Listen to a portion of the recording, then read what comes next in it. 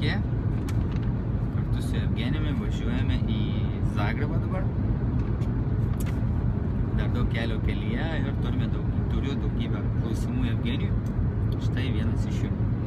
A, toks posakis, kad a, patys blogiausi įvykiai mūsų gyvenime gali būti ir patys vertingiausi. Evgenijau, ar gali paaiškinti? E, Be abejo galiu.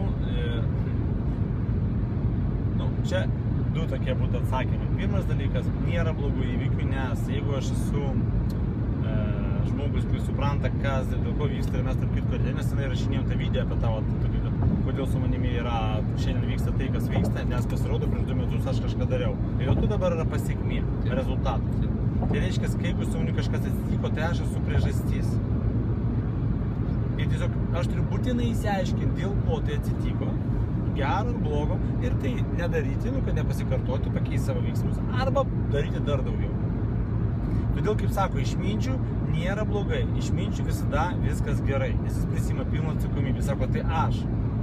Kas yra svarbiausia, čia turiu suvokti, kad suvokimas, kad aš visą tai, kas į mano gyvenime blogai, suknistai vyksta, aš sukūriau, sakai, aleluja, reiškia, aš ir galiu tai sutvarkyti.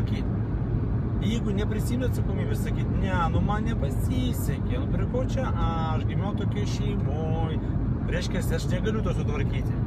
Ir gyvenimas nesikeis. Tai yra vienas atsakymas. O kitas atsakymas, nėra gerai blogai.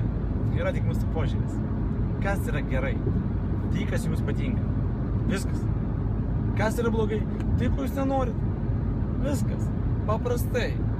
Kažką alkoholikų, alkoholis, o, super, prigėrė normaliai nutaikyti, viskas gerai. Jam gerai, jums, jeigu jūs negerat blogai, nu turiu minį, jūs nemėgstat blogis. Viskas. Todėl nėra gėrio blogio sav- savokos, yra mūsų augimas, samoningumas didėjantis ir mums tie dalykai, kuriuos mes darėme anksčiau, jie yra dabar blogis, o anksčiau buvo gėris.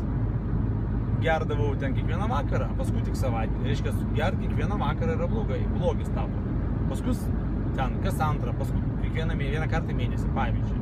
Anksčiau nesportuodavau, tinginiaudavau, ne, nedarydavau kažkokio tai verslo, nekeliaudavau, nesimokinau. Ir maniau, kad nu, normaliai, kiek galima, aš kai baigiau universitetą, mokyklą, viskas normaliai, turiu aukštai. Ir dabar aš suprantu, kad visada negalima susit mokintis, tai jau dabar anksčiau aš blogai dariau. Viskas. Todėl tas blogai tik tai tai, kas jums nepatinka, arba tai, ką jūs supratot, kad peraugote, sakot, o, viskas paprasta, žinokit, toks atsakymas. Ačiū tau, ačiū Jums. Prenumeruokite kanalą, laikykite video ir rašykit mums. Iki.